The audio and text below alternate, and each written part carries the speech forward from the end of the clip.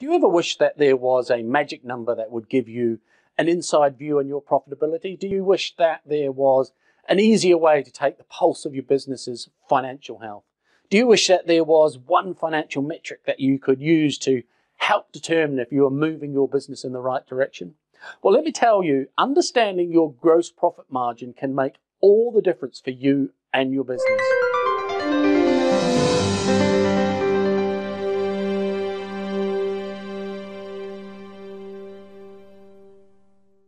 As a business coach, I often sit down with new clients and discuss their financial affairs. Most can give me the basics about their finances, but nine out of 10 business owners look a little clueless when I ask them about their gross profit margin. Welcome to Summit Scale, where entrepreneurial leaders come to learn how to grow their small businesses into mid-sized companies. So let's first begin by looking at what gross profit margin is. Gross profit equals total sales less cost of goods sold. Your cost of goods sold is your direct cost to produce or acquire to resell your product or service. It generally includes materials costs and direct labor costs. And when you express your gross profit as a percentage of your total revenue, then you get your gross profit margin. For example, if you were a business with 1 million in sales, that's your total revenue and a cost of goods sold of 250,000, then your gross profit margin would be 75%. 750,000 gross profit divided by 1 million in total revenue. In a very important way, your gross profit margin is a simple measure of your ability to be profitable. If it's too low, what that is saying is that your price relative to the cost of producing your product or service is simply too low for you to ever be profitable. Remember, your gross profit only accounts for direct costs of producing your product or service and not for any of the other costs of operating a business like sales, marketing, operations, admin, finance, let alone profit for the owners.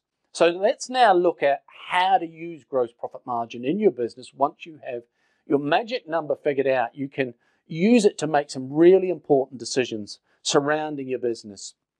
Things like, firstly, your pricing. If your gross profit margin is on the low side, one easy way to balance the equation is to raise your pricing. And most business owners put this task off for way too long and it has a huge impact on your ability to scale and grow. Consider when the last price increase was, your value in the market and your competition, and then raise your prices accordingly. My biggest tip here don't try to be the cheapest out there, be the company that provides the most value for its customers. Secondly, your cost of production. Cost of production is another problem area that a low gross profit margin can reveal. If it, it can alert you of product lines that need to be discontinued or markets that you should ignore. You can also use this as a tool to approach your suppliers and try to negotiate for a lower cost of goods in order to compete. And thirdly, how you stack up against your competition. If your industry averages a 50% gross profit margin and you are operating at a 60% margin, then you know you're on the right track. If your gross margin is less than your industry average, consider making some changes to meet industry benchmarks.